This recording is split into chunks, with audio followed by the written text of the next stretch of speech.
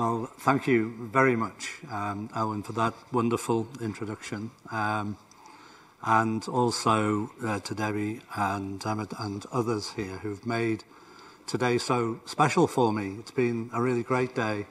And as you noticed, I brought the good weather with me from Northern Ireland, despite it being cold.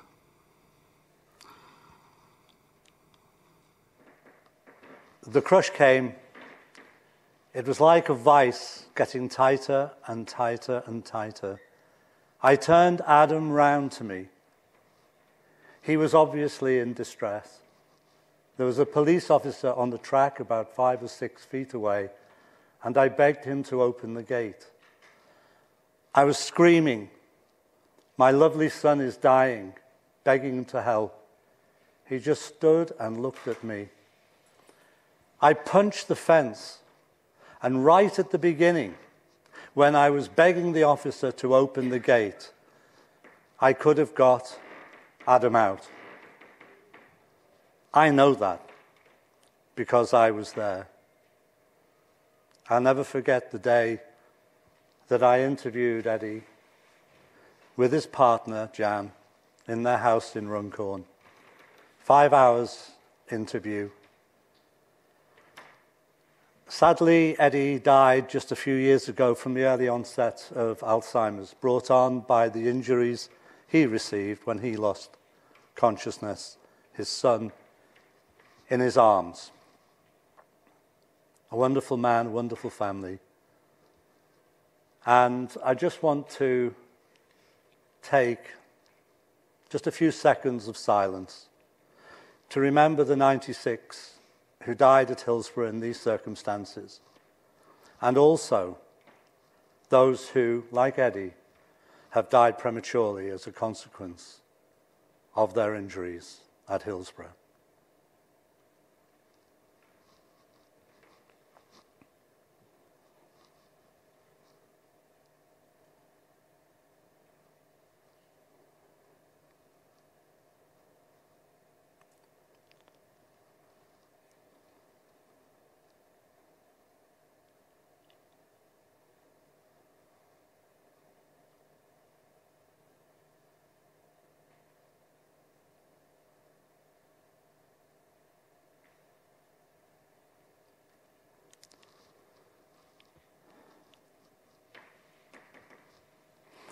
I want to start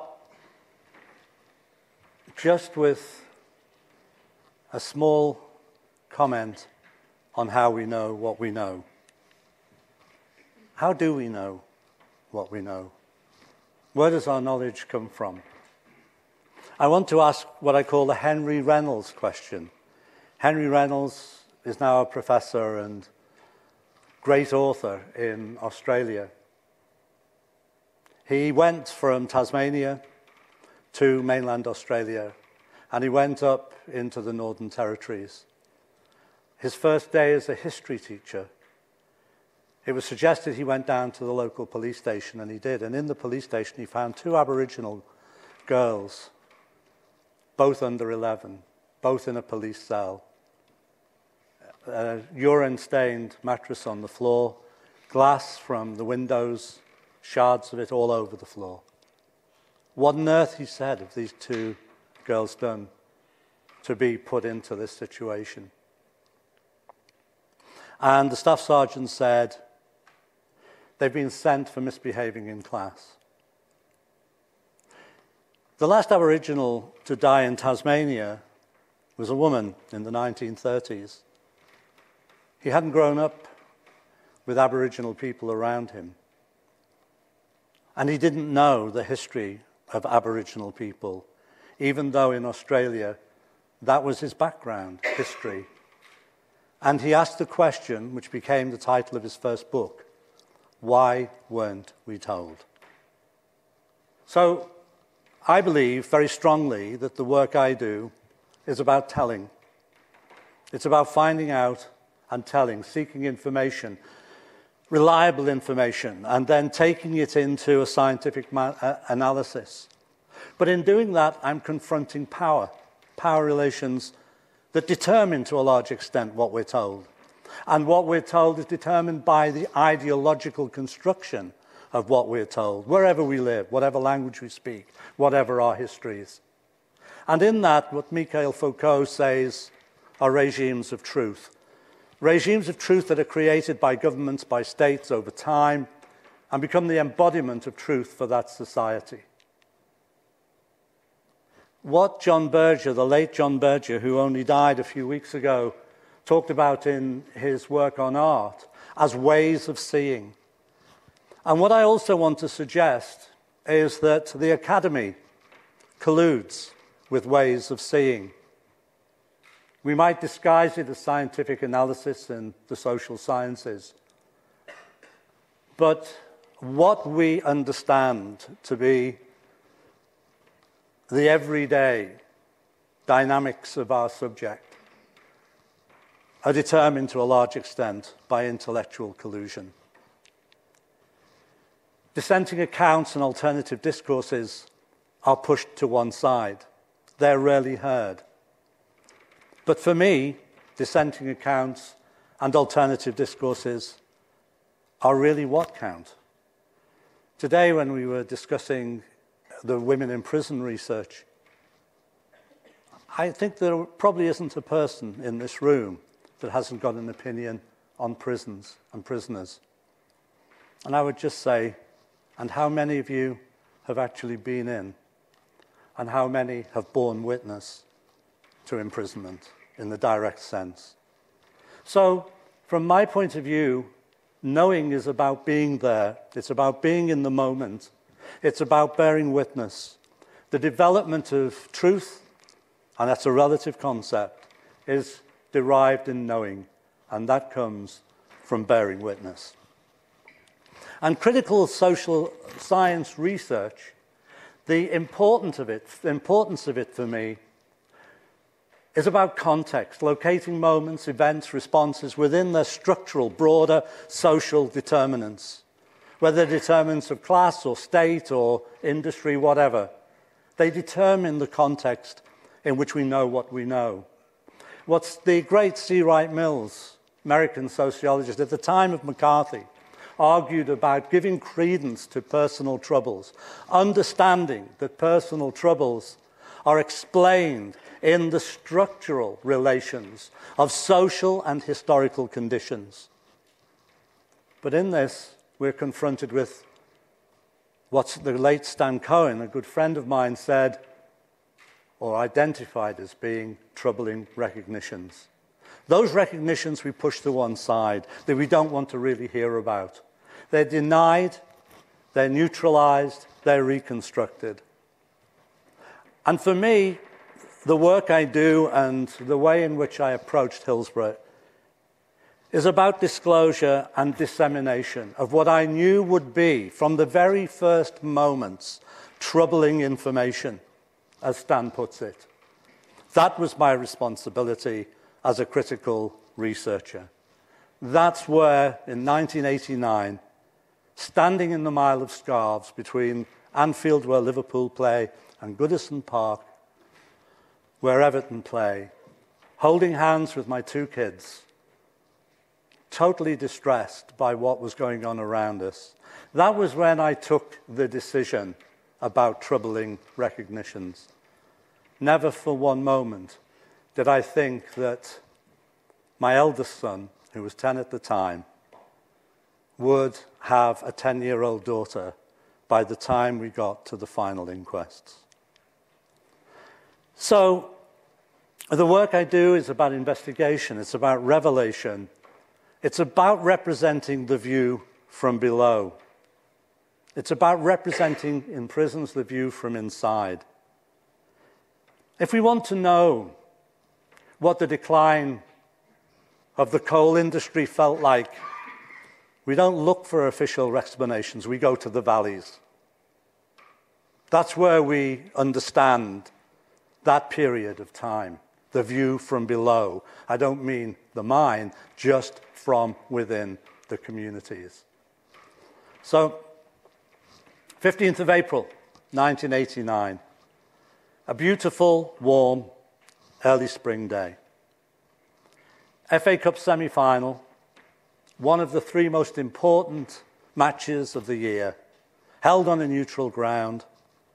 Liverpool playing Nottingham Forest. Everton, the other team from Liverpool, they were playing Norwich at Villa Park in Birmingham.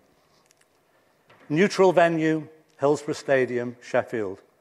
And that's important because all of the fans arriving that day, all 54,000 of them, were coming to a stadium that they were not familiar with, whether they supported Liverpool or Nottingham Forest.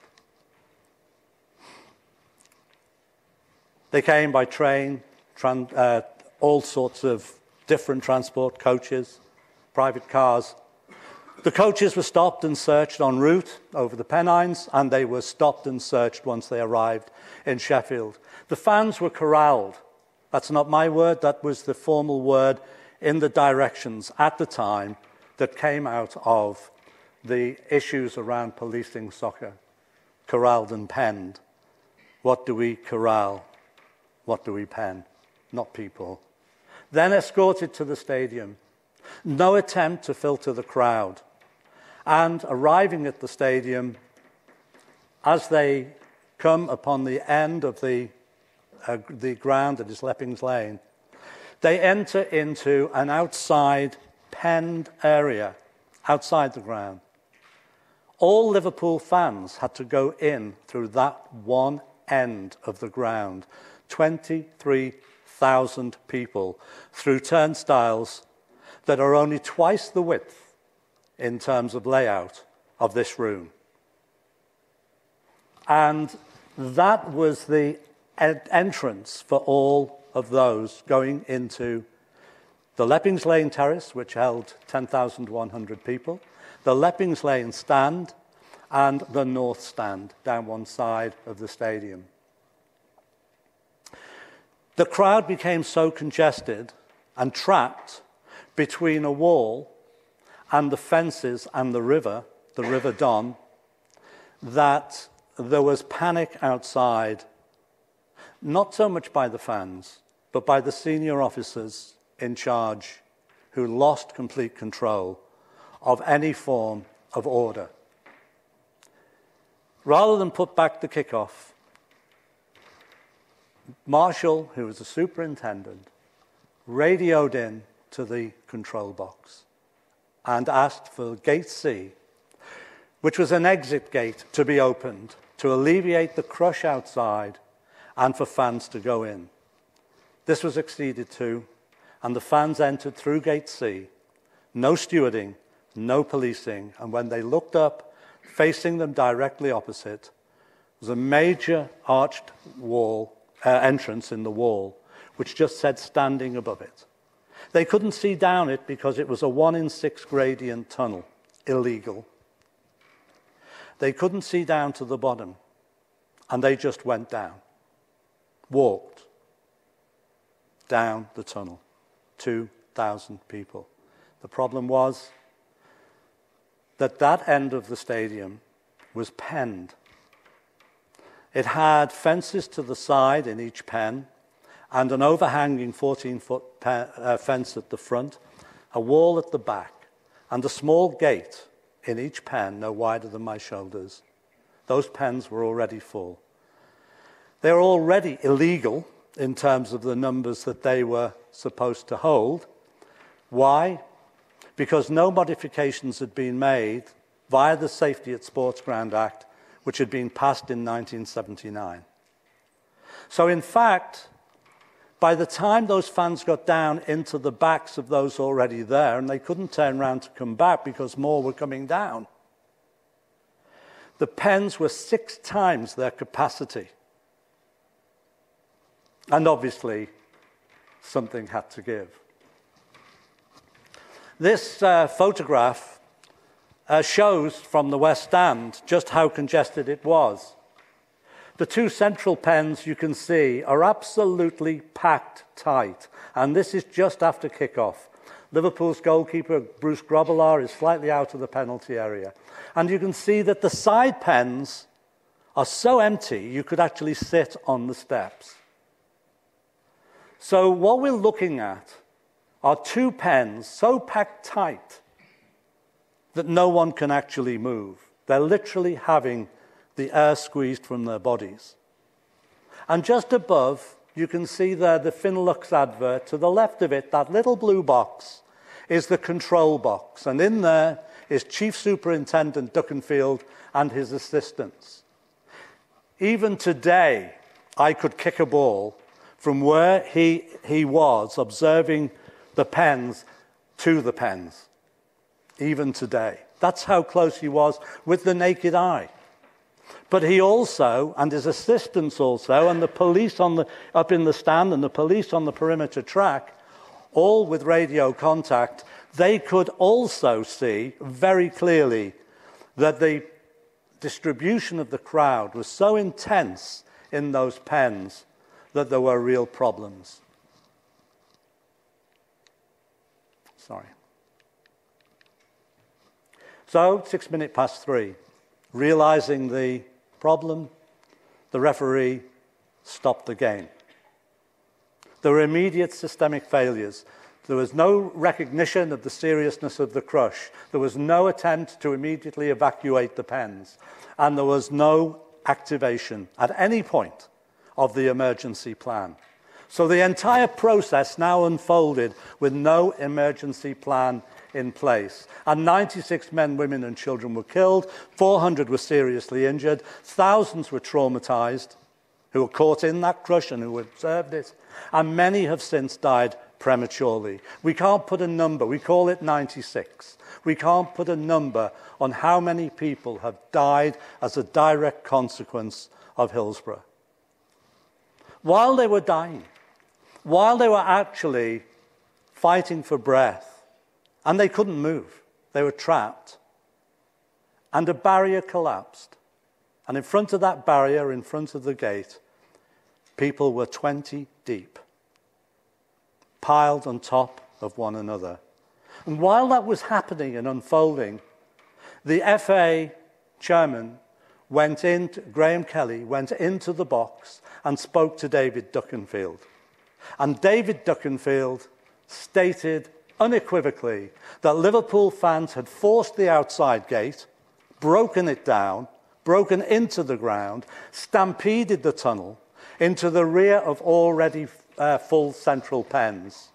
And his account was repeated immediately and broadcast around the world by the television and radio people who were there. Within minutes, that afternoon, while people were still being rescued from the pens, Jacques Georges, FIFA president, stated publicly, internationally, they were like beasts waiting to charge into the arena. An appalling disaster was happening and Liverpool fans were already now blamed. This photograph, however, is of a different order.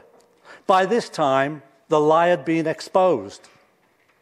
But here is Margaret Thatcher, Douglas Hurd, and the great and the good from the South Yorkshire Police and South Yorkshire authorities standing around. She's pointing actually at the control box. And there in the background, just to the right, the second person in from the right, you can see an individual who, thanks to a letter that he wrote, demonstrated what was actually being said at this moment. Sir Bernard Ingham, her press secretary, said, I visited Hillsborough on the morning after the disaster. I know what I learned on the spot. There would have been no Hillsborough if a mob who were clearly tanked up had not tried to force their way into the ground. To blame the police is a cop out. I see no purpose in addressing an organization. It wasn't an organization, he was talking about the families. I see no purpose in addressing an organization which is incapable of accepting this simple fact. So, that's what was being said. And there is Bernard Ingham listening intently to the Chief Constable talking to Margaret Thatcher, learning on the spot. And of course, the lie was then disseminated. This is a small selection of the literally hundreds of pages of newsprint, many of which I had translated into English from, from European, uh, European newspapers. Up to 40 people died in the tunnel, the rest were trampled underfoot. Thousands of fans began the fatal charge. Latecomers tried to force their way into the ground. The Anfield Army charged onto the terrace behind the goal, many without tickets. The catastrophe was caused by violent enthusiasm, the tribal passions of Liverpool supporters who literally killed themselves. They were gate crashers, wreaking their fatal havoc, uncontrolled fanaticism, mass hysteria, scouse killed scouse. And that's the Liverpool Daily Post. Liverpool can't accept that some of its troubles might have something to do with its own people. Self pity, work shy. Imagine you haven't even received home the body of your loved one, and this is what you're reading about those who died and those who survived. But the 18th of April is a defining moment.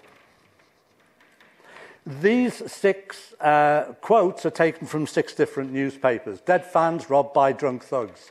So now we've moved on. They didn't just cause the disaster, they robbed from the dead. Vile fans fought us, that's the police, as we tried to help the dying. Police accused drunken fans, a sick spectacle of pilfering from the dying. Liverpool pickpockets pounced on the dead. Yobs jibes over girl's corpse, that's one of the two Hicks sisters who died together. Heavy drinking fans besieged the ground. And as if it was the cheerleader for all of these newspapers, the Sun went that extra step. Kelvin MacKenzie wanted to use the headline, You Scum, and his political editor talked him out of it. The truth some fans pickpockets of victims. Some fans urinated on the brave cops. Some fans beat up PC, giving kiss of life. Now, just imagine that. Imagine that scenario. Imagine that that could happen. Can you? It got worse. On the 19th of April, and I came across this document in the two million documents that we accessed on the Hillsborough panel. On the 19th of April, there was a meeting at Pickwick's restaurant. This was the day after those headlines. And that meeting was a police federation meeting. It's unheard of, unless invited, for a chief constable to turn up unannounced at a police federation meeting. How do I know the contents of that meeting? because I have the private and confidential minutes of it. And what did he say? The South Yorkshire police case had to be pulled together and given to the press and inquiry. He said, and the inquiry had been just at this point set up under Lord Justice Taylor. A defence had to be prepared, he said, a rock solid story.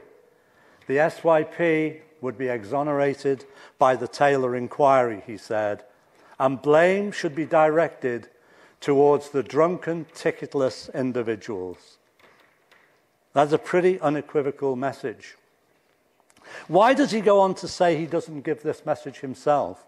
He said, because he, in his position, is caught up in the inquiry, and therefore it should come from the Police Federation and the police officers who were actually directly involved.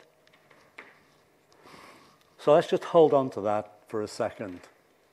I want to skim through what happened next.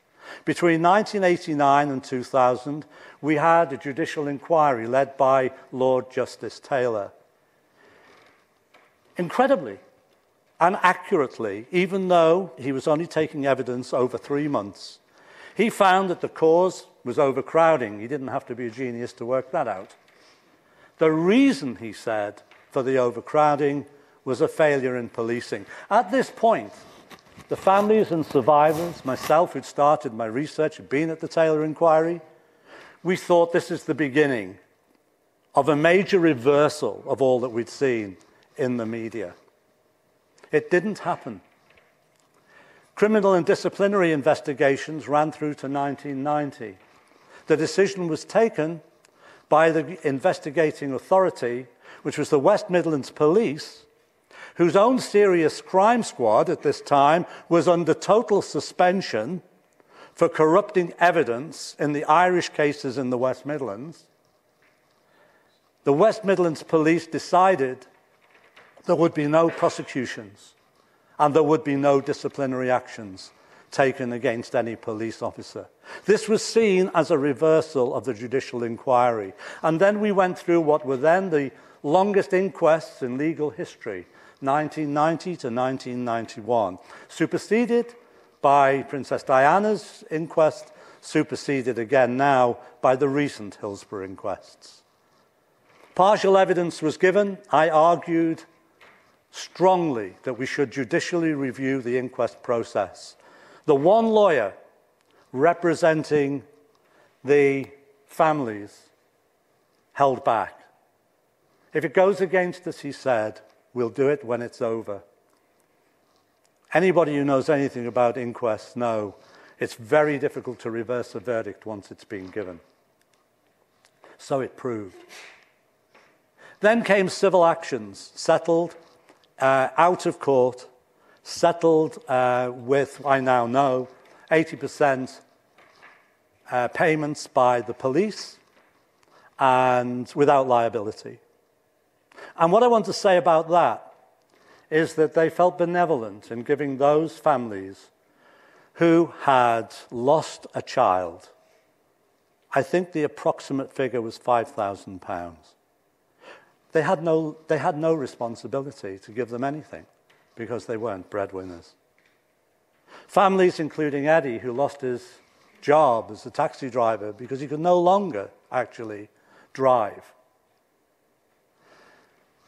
Certainly not drive at that level.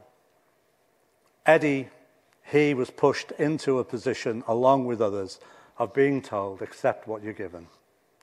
There's a judicial review of the inquest verdicts, 1992 to 93. That came to nothing, and in fact, in the High Court, it was ruled that the inquest verdicts, the inquests, had been exemplary. There was a judicial scrutiny of new evidence, which I'll come back to in a second, held by Lord Justice Stuart Smith, former MI6 Commissioner, 1997 to 98. That was set up by the new Labour government as they had promised. That came to nothing. He said that the legal proceedings that had preceded the issues that I've talked about were exemplary. And then there was a private prosecution taken by families against the two lead officers, uh, Chief Superintendent Duckenfield and Superintendent Murray. It was a hung jury on Chief Superintendent Duckenfield, and the judge made it clear there would be no further attempt to prosecute accepted by the court. Murray was exonerated. I set out researching the disaster, as I've mentioned, literally within weeks. Liverpool City Council funded the project. In 1990, we wrote an extensive report, Hillsborough and after the, Hillsborough, the Liverpool experience. That was before the inquests. Then, in 95, a very long report, No Last Rites, the denial of justice and the promotion of myth in the aftermath of the Hillsborough disaster. That did include chapters on the inquests. And I thought this might take us somewhere. It didn't. We submitted our work and helped and assisted the late, wonderful Katy Jones um, on the Hillsborough drama documentary, which came out in 1996, shown in over 50 countries. And again, we thought there might be a breakthrough, even though it was a drama documentary. It never happened. But also in 1996, I came in from an evening lecture. I've been teaching on the master's program. And you know that moment when you go into your house and you sit down and you make yourself a cup of tea and you start flicking the channels. And while you're flicking the channels, you're thinking to yourself, is there anything I want to watch? And suddenly I saw a guy with long blonde hair sitting there talking about disaster. It was a program called Aftermath. And I noticed that behind him was the broken barrier at Hillsborough, and I thought, oh my goodness, this is actually his experiences of Hillsborough. He was a police officer, former police officer, and he was talking about how, in that situation, the whole process of statement taking and all that he'd experienced um, had put pressure on police officers to build a case that was actually inclined towards the police. I tried to contact him, and the producer, who I happen to know, said she couldn't put me in touch with him, but she'd give him my number, and he never got back. And then, six months later, one morning, in the house, the phone rang, and it was him. And he invited me over to Yorkshire, and I went and walked on the fells with him three times over three different occasions. And then finally, he said he was going to show me his statement because he'd already told me, incredibly, that it had been reviewed and altered. This is a statement. It's um, sent to Chief Superintendent Denton, who was running the police side of the operation management services in South Yorkshire Police. And it came from one of the senior partners um, up there at the top. And his statement, his comment, is just there at the bottom. But that's not where, what really caught my imagination. It is this as before, the mention of a name without comment indicates that the statement has been read and that we've no suggestions for review or alteration. No suggestions for review or alteration. Now, my English is pretty good, and I think I know what those two words mean. But when he showed me his statements, this was the initial front page of his, his statement written in handwriting. They'd all been given sheets of paper and told to go away and write down, as they put it, warts and all, the story of Hillsborough. And off he went and he wrote it. Then it was typed up and presented back to him. And you can see on that page the review and alteration process in action. Lines through, words changed. In fact, it's important to say that about 70% of his statement had been altered. And then the pristine copy, the final copy, that then went through. And I said to him, Yes, David, that's, you know, all okay, but you signed it. And nothing in all the years of work I've been doing in critical research prepared me for what he said. He said, Yeah, it's my signature, but I didn't put it there on every page. Who knew? I'd been down in London uh, in the Home Office, um, at, or at the, at the invitation of the Home Office, um, but in the House of Lords reading room. Not allowed to go into the House of Commons reading room. So there I was with all the statements. They'd been delivered to me in 12 or 13 boxes, broken all over the place. And when I opened the boxes, the statements were just all over the place. Pages were missing, pages were in other boxes, statements were mixed up. And it took me two days on a massive trencher table to spread them all out and get the statements in order, all copies of them. I came back home after that. And I, what was ringing in my ears was what David had said. A few days after the disaster, a certain chief superintendent took it out for a drink. We were basically told look, unless we get our heads together and straighten it out, there are heads going to roll. When I got home, I couldn't tell anybody. Brief story. I went to the woman at the desk who was timeless, bun in her hair, you know, librarian. I said, Can I copy some of these statements? And she looked at me and she went, I thought that was it. She said, It'll be 20 pence a sheet. and I said, I know it's the House of Lords reading room, but do you take plastic? And she said, Yes. I said, Can I have all these copied by tomorrow? She said, Yes. And I came back with them on a Friday night on the, on the London Liverpool train. They were burning a hole in my case. I got home, I sat down till three o'clock in the morning with my partner, the only person I could tell, and I showed her. I couldn't talk to her about it over the phone. And I went to bed. And an absolute nightmare to live with.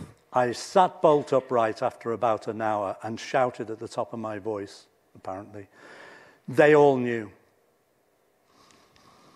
The West Midlands Police investigation team, as it's transpired, have been able to show this in subsequent documents. They knew. Lord Justice Taylor, he knew. The coroner knew. The Treasury solicitor knew. The Home Office knew about the review and alteration process.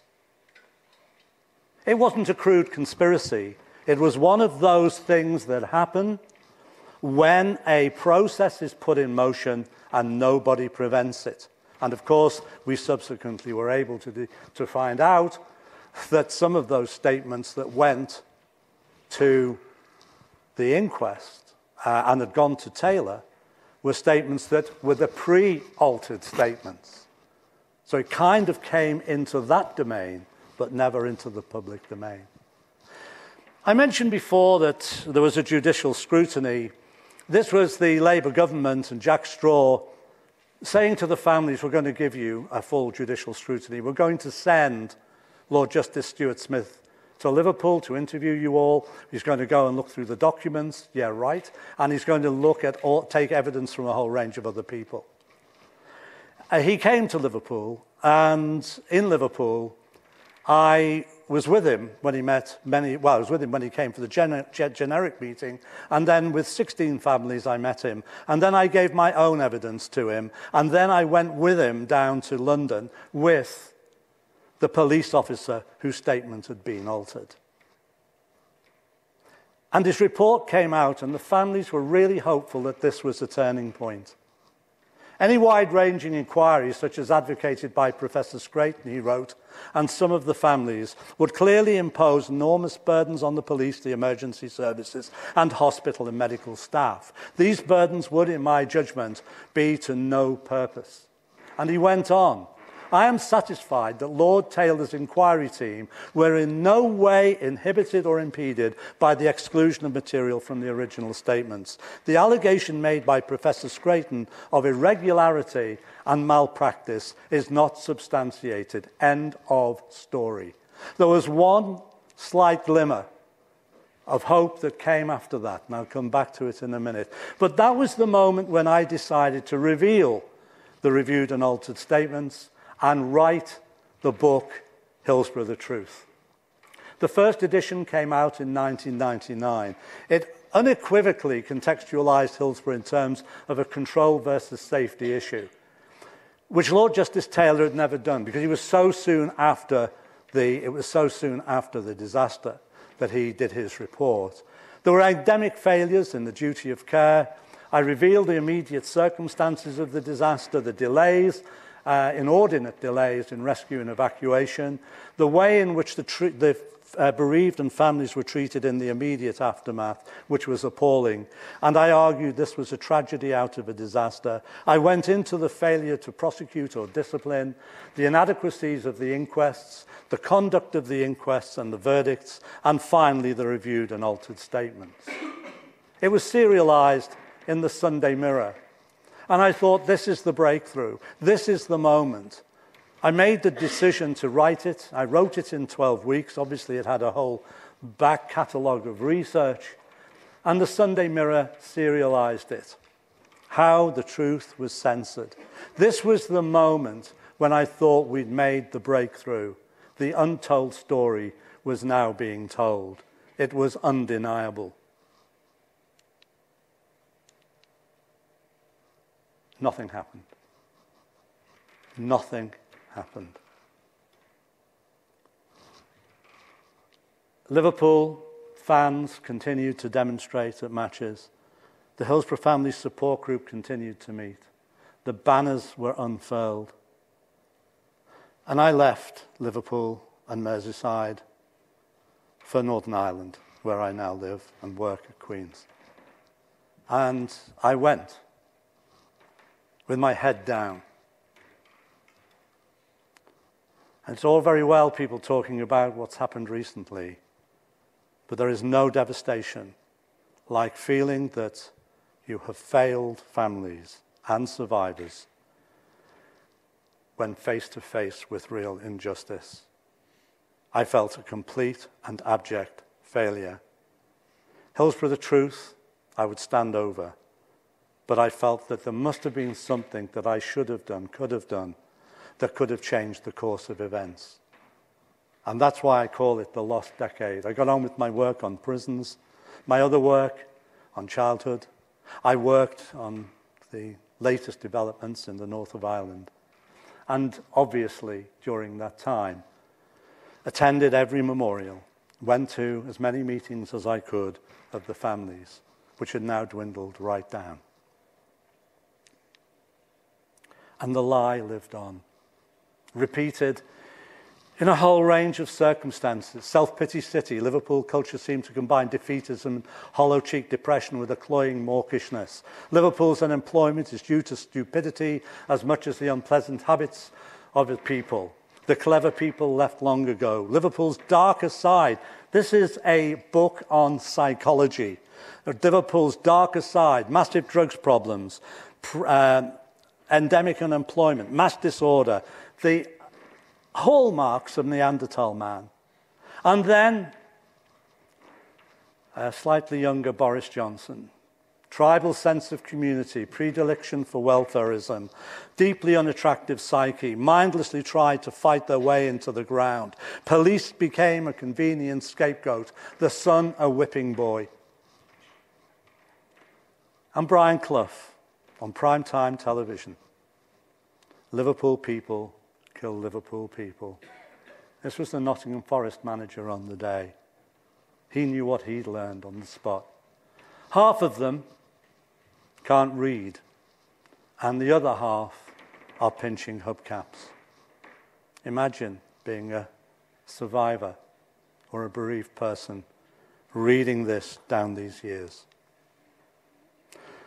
Then in 2009, at the 20th anniversary, having had discussions with him, Andy Burnham, who was then Minister of State for Culture, came forward and said that he was going to initiate an independent panel that would look into all aspects of the disaster.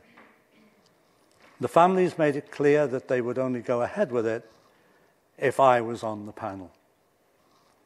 I made seven conditions for going on the panel.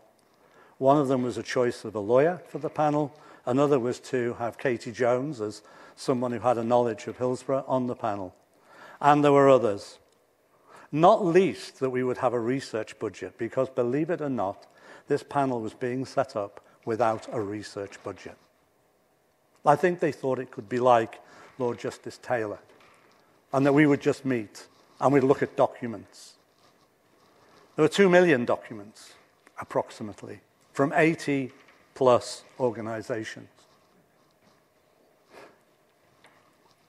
The primary terms of reference was full, two of them were full public disclosure of all government and publicly held documents and material. And that we would write a report of how the disclosed information adds to public understanding of the disaster and aftermath. As often, I wrote that on my kitchen table. And that was the most important statement because what it was saying was that I could factor in any evidence at all that might inform or add to public understanding of the disaster and its aftermath. That opened the door to the collection of evidence from all parties. The research focus that we had, and by now a research team was appointed, even that proved difficult.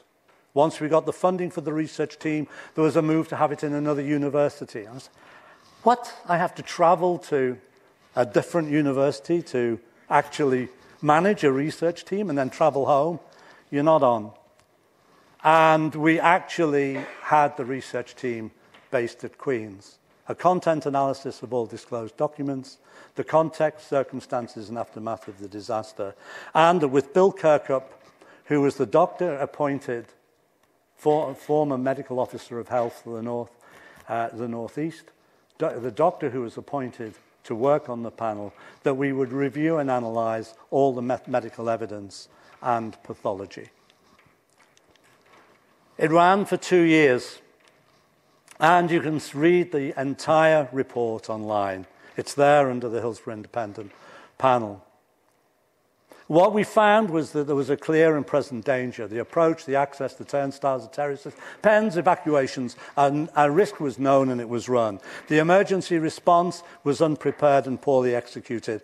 The medical evidence demonstrated that at least 41 people might have been saved with earlier intervention. It also demonstrated that in the deaths, alcohol played no part. And we were able to extrapolate that as a random sample to say that it played no part, full stop. The, uh, the investigations had been de- deficient. The evidence had been corrupted, particularly the police evidence. The dead had been criminalized. Record checks had been run on each of those who died, criminal record checks. The coroner's inquiry coroner had imposed a 315 cutoff on all evidence, and now we know that many of those were nowhere near dead at that time. We can't put a precise figure on it because the pathology is old pathology. But we knew that the 315 cutoff was flawed. We'd always argued that. I'd always argued that. And now the flawed inquest that I demonstrated in Hillsborough the Truth was public knowledge. But I'll never forget the day when my researchers walked into the room and we were sitting having a chat. They said, let's just look at some of these documents. South Yorkshire Ambulance Service statements had also been reviewed and altered. When I interviewed the South Yorkshire Ambulance Service in the immediate aftermath of Hillsborough, I thought that the explanation they gave for not allowing the police to take their statements was because they didn't trust the police to represent their views accurately. That's how they presented it to me. The reality was that they had their own process of review and alteration of their own statements. And of course, I needed to look behind the headlines. How did that process occur where the media were reporting with such certainty what had happened at Hillsborough? And I thought we'll never get to the bottom of that.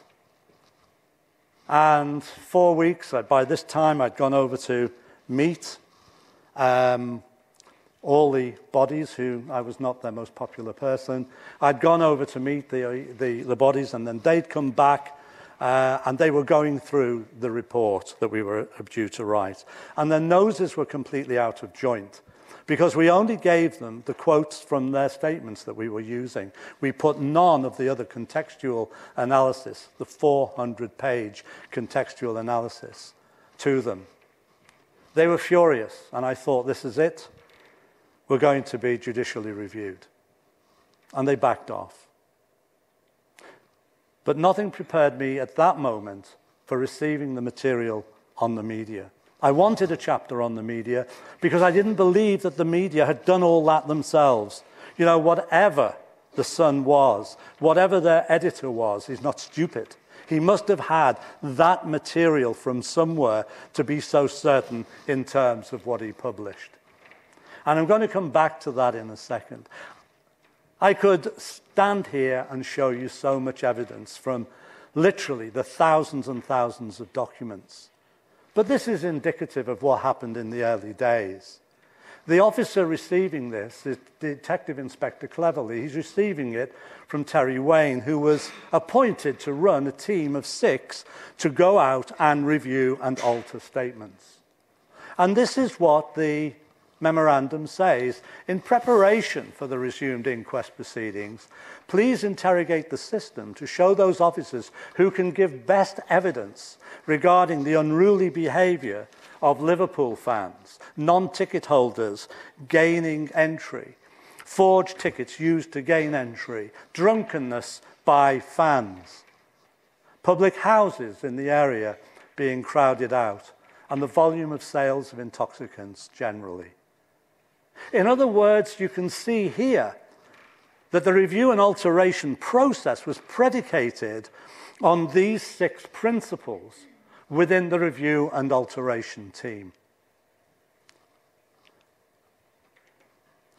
After the report came out, I received more documents. This is interesting. You can't read it from where you're sitting. But what it shows is a serial office. The police operated in serials. That is, groups of officers led by a sergeant or an inspector. On the left is the sergeant's statement. On the right is one of his men, and they were all men in this serial. The statement is identical. The statement is identical. It's a bit like when you're trying to work out plagiarism with your students. The easiest way is to check on the spellings. And the spelling mistakes are identical also. So the officer had copied the statement of his senior officer, and in that serial, not completely in the way this particular statement was, but in it, so many more statements had had sections rewritten. I also wanted to just talk a little bit back, reflecting back on our findings, on how the dead were criminalised. South Yorkshire Police interviewed the bereaved on the night of the disaster. And those of you who've seen uh, Jimmy McGovern's film or seen my work will know that they were not ordinary interviews. They were questioned about whether their loved ones, including children, drank. They were questioned about how they normally traveled, the whole, the whole gamut. And all the way through, and Les Jones says this in Jimmy's film. He said, I'm sitting there, having just identified his dead son and his son's dead fiance. I'm sitting there, he said, grief stricken. I've got my wife next to me, the daughter who had acted Stephanie Jones, who had survived, age 16. And I'm saying, Why are you attacking me? Why are you attacking my family? And that's how they felt. That's exactly how they felt in that identification procedure. The gymnasium had been split into three parts. The bodies were in body bags. In the center was an area where Kentucky Fried Chicken had, had given chicken legs and stuff for the police to eat during the evening, and at the other end were tables set out, and two officers at each table interrogating each of the families. They thought they were going to sign identification papers, and they all unanimously argue that it felt as if their loved one was actually being blamed for the disaster. The South Yorkshire Police the next day went out and searched the routes to Sheffield for cans and bottles, going through litter bins in lay-bys. Could have been left by anybody. The coroner that evening ordered that the blood alcohol levels of every single individual, children as well, would be taken. You know, when blood alcohol levels are taken, why they're taken. They're taken of pilots of planes, drivers of trains in crashes. Never has there historically ever been, before or since, the taking of blood alcohol levels of all of the people who die as a consequence of a tragedy or a disaster. It was clear that the mindset that he'd formed by that evening when he took that decision had been informed by the way in which the police had approached him, particularly Chief Superintendent Addis, who I actually interviewed. Certainly, he wouldn't have given me an interview after that initial interview at the time. So that was the way they were thinking. But again, one day I'm in my office and one of the researchers comes in and shows me these two tatty pieces of handwritten paper and says, Are these of any interest?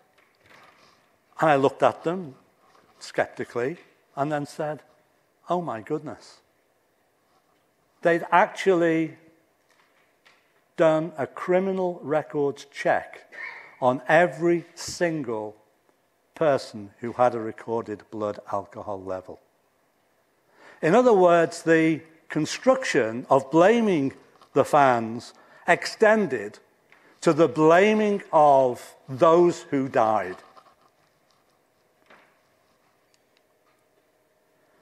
I want to go back to the police and the news agency.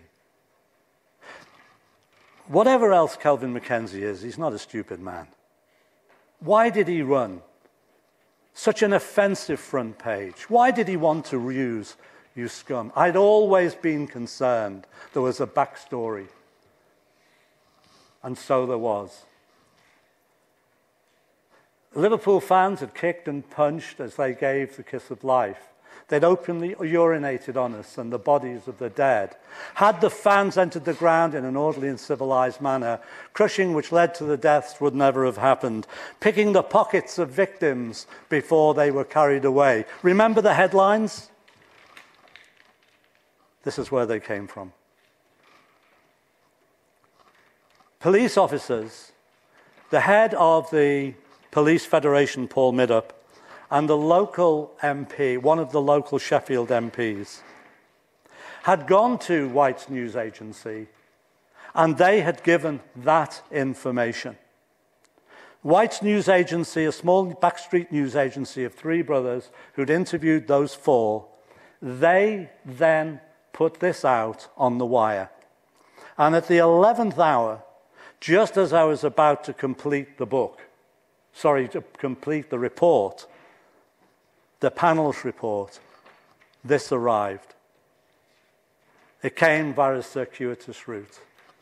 And it demonstrates exactly why Kelvin MacKenzie was so confident that he could run that story. Irvine Patnick, the MP, eventually put his hands up to this and sadly died soon after. The impact of the independent panel's report was remarkable. The 12th of September, the Prime Minister gave an unequivocal equivocal double injustice, apology for a double injustice. The first, that people had died in the way they had. The second, in terms of how the case had been handled. The 12th of October 2012, the IPCC investigation uh, was set up, the Independent Police Complaints Commission, uh, into the South Yorkshire Police and West Midlands Police and the alleged cover up plus responsibility. On the 19th of December, Operation Resolve was set up in terms of criminal culpability of any individual or organisation, and that those parts of the um, of their investigation concerning police officers was managed by the IPCC, housed in a building in Warrington on uh, four floors. The memorandum of understanding between those bodies was constructive cooperation between the two teams, recognising the independent remit of each. They have been running since that time to the present day and have still yet to report. The inquest verdicts were quashed. The interests of justice, said the Lord Chief Justice, must be served. The facts must be investigated and reanalysed in a fresh inquest when the truth will be brought to light. In this way, the families of those who died will be vindicated and the memory of each victim will be properly respected. All inquisitions will be quashed. There will be new inquests in each and every case. The preliminary hearings ran 2013 to 2014, five of them in total. The full inquest ran from 2014, almost for exactly two years, to 2016, and would have been significantly shorter if the police hadn't decided, and they were perfectly entitled to do this because the prosecutions hadn't gone ahead yet, that they could come and rerun so many of the myths of the earlier investigations. And of course, this reignited the lie. The verdict, of course, as you all know, came after a nine week recess and process while the coroner issued his summing up. He issued it to all of the interested parties, and there were many and all of the family's lawyers, before he actually gave it, so that they would have a chance to oppose it if necessary beforehand. When I left home on the day the verdict was announced, I left 4,000 pages, approximately, on the end of our kitchen table. And I said to my partner, I'm leaving them there because I'll be working on the appeal when we get back. And people now assume that all this happened so magically. It didn't. And in the court, only one short form verdict was offered unlawful killing. If that wasn't found, there would be no short form verdict. The narrative verdict, however, and we now have narrative verdicts in Coroner's Court, at inquest we fought, we fought for those for many years. It enables a jury to be able to give more precise information to families about how their loved ones died. The narrative demonstrated 25 contributory factors found against the police, the stadium owners, the safety engineers, the local authority, and the ambulance service. But most significantly, having been blamed for so long, the fans were completely and totally exonerated. The interest of Judge Justice must be served, said the Lord Chief Justice. The facts will be investigated. And that is precisely what happened.